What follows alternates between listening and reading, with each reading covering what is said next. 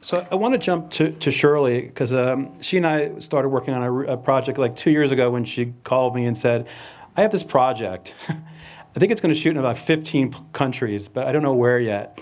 Um, project is called um, Point Break, and it's a reboot of the 1991 surfer movie that I think shot in like three locations. I think Hawaii, California, and if I think that, Utah. Yeah. But mm-hmm. maybe you could talk about that project and what you and I went through in terms of figuring out where to go, and once we were there, what kind of issues we dealt with. Sure. Well, first of all, I want to thank you yet again for all of your help with being my unofficial advisor or the company's unofficial advisor.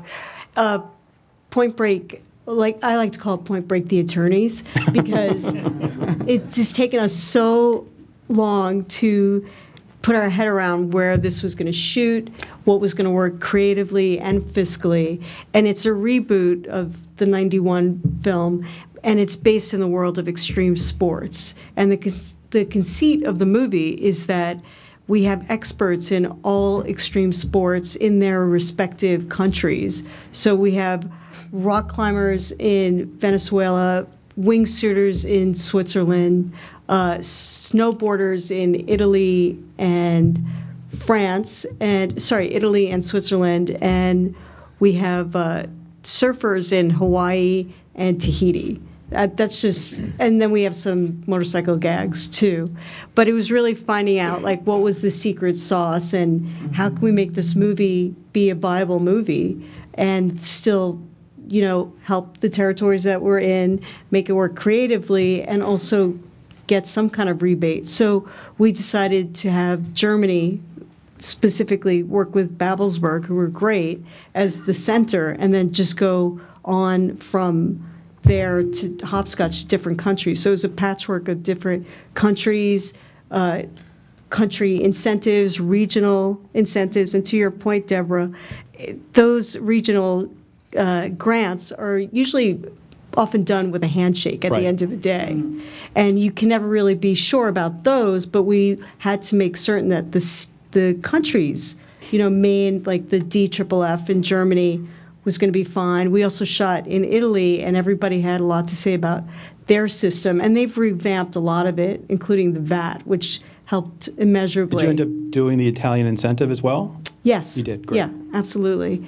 And then also have regionals in as well. in Italy. And in terms of Italy, I, I, hear this a lot, and I was just in Cannes, and, and, so many people sort of say, I went to Italy, I never got my money back, and the incentive doesn't work. And the reality is that the incentive does work. It does. The, the key to the incentive truly is to, is to partner with the right Italian co-producer, mm-hmm. because what happens is that the money will ultimately come back from the government, but that, that does take time. It's just a matter of how business is in Italy. But if you partner with the right co-producer and they have their own income tax and their own VAT, you can get the money back quicker by uh, taking these credits as an offset to their tax liability and exactly. the money comes back quicker. So that's an important thing to know about Italy. The incentive still is there, it still works. In fact, I just read it got re-upped again just recently. So yeah. again, maybe the, the point here is that you know don't listen to every producer who says they haven't gotten their money back and the incentive doesn't work. I remember years ago, I think people today still say Michigan doesn't have an incentive mm-hmm. because rules change and everyone just jumped to the inclusion. The incentive is gone. So again, it's really important to make sure you do your due diligence and reach out to producers who happen to have been in a location where you're thinking about going and learn from them. And but, most and most recently too, as you said, some of the stories are old, and that's what we were finding too. People were saying that Italy, you'll never get your money back, but we did partner up with the right person, and a lot of this was because it was such a complicated show and I think we've actually shot in more countries than Bond, a uh, regular Bond movie. Was it 10 countries and four states? 10 countries and four states. Wow.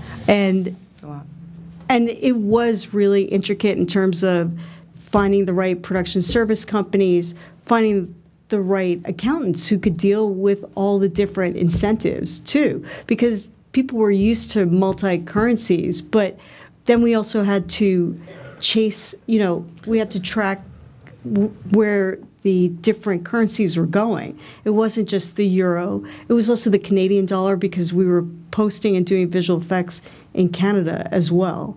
So I think in order to do this, you had to be a producer and have an MBA. so, was there any particular country, whether it was Mexico, or Austria, that, that you learned something that you might want to share with the audience in terms of if you're going to this country, be aware of? Be aware of your partner. Okay. Just really do your research and make sure that you have a great accountant who can handle the complexity of the show. That was the big learning for us. And do not shoot in 10 countries and four states.